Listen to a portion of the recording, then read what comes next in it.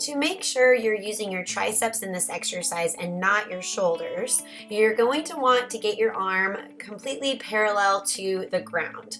Your elbow is going to be nice and high. You're going to push your chest forward so your back is nice and flat and supported.